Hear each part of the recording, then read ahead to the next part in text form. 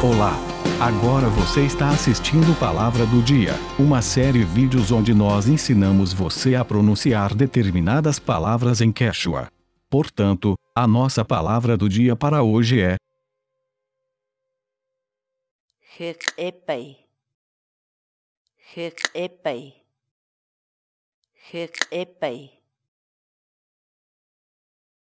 Em português, a palavra Quechua. Significa sufocar-se.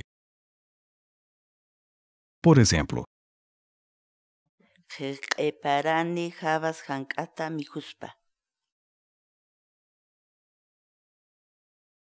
Tente e baixe nossos programas de verificação ortográfica em Quechua, usando nossas aplicações web ou desktop.